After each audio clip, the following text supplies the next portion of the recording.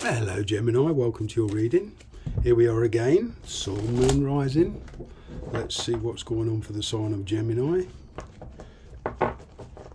What's going on for the sign of Gemini? What's going on for the sign of Gemini?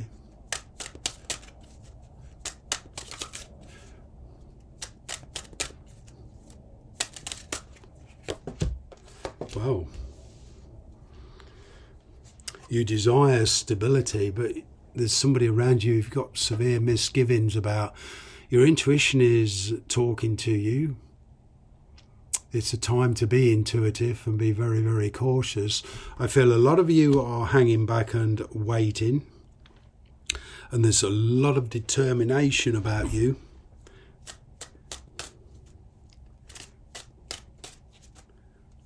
I'm getting an awful lot of self restraint here. That somebody wants to talk to you. Now, you're in the phase of mind where you'll be compassionate, but you won't be nobody's fool. You'll kind of take this, and this is all about intu- being intuitive as well, you know, and the mental acumen is pin sharp. But, you know, it's kind of like this person wants to talk to you, they want to try and get you to accept their point of view. You also want to get them to understand your point of view, but there is some stubbornness about this, and not all of the stubbornness lies on your side. Some of it comes from theirs. There's kind of a, you like, immovable object against the unstoppable force. You're both of the same frame of mind. And, you know, I've got this Two of Pentacles here, and that's kind of telling me that the two of you need to lighten up a bit. Mm-hmm. If you want this to work. If you want this to work. You know, there's a lot of changes going on around you. And the same for the for the cross watchers, you know, there's a lot of changes going on and in the middle. So it's a question of you know, are you two prepared to meet in the middle somewhere and kind of talk? There was a lot of stress around the situation. There could have been a third party influence from a mother or a father, a parent.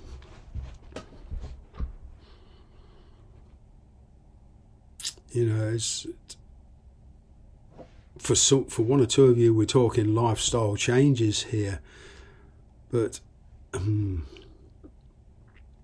I am picking up a third party influence. In the past, you know, there was a lot of advice, and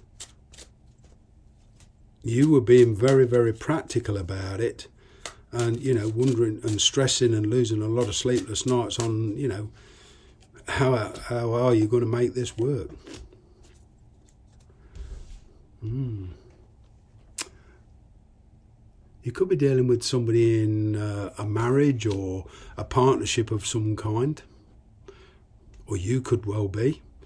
You know, when the King and Queen of Cups shows up, there's and a, you've got a Queen of Coins here. That's three people. This is your third party situation. There's an influence here, and it could be the parents. But you know, there's there's a strong influence here somebody here feels very strongly against this.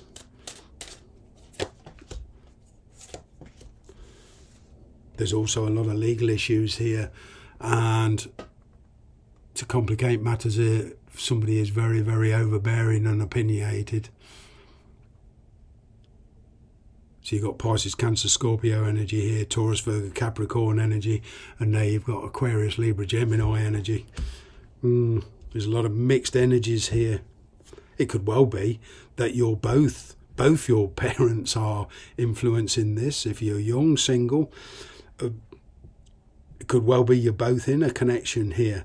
But there's, yeah, there's conversations and energies going in all directions here. It's, it's quite a complicated situation here. I can see there's a lot of people involved not just not just a one-to-one connection here it's too complicated to you know get detail here in a general read well, either way, there's, you're certainly hanging back. A lot of you are waiting to see what happens. You, you're tired of kind of banging your head against a wall with this. There's been a lot of persuasion, but somebody's refusing to budge on their opinion or opinions. There's a lot of discussions going on.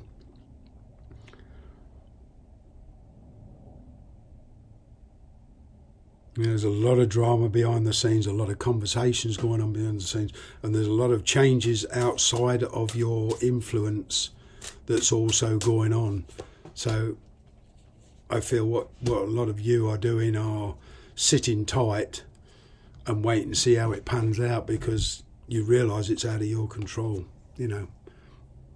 There is a doorway opening, but there's also a decision here on a connection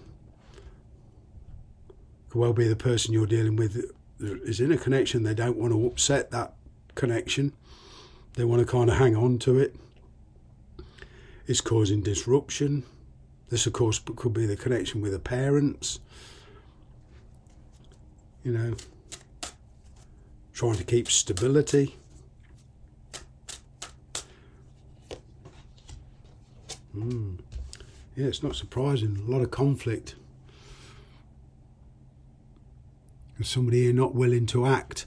There's there's a lot of barriers, and there you are trying to reiterate your position, but you know you feeling you feel you've got the moral high ground, and you, you feel you're in the right, but it's it's just a very very large mountain for you to climb, emotionally and spiritually.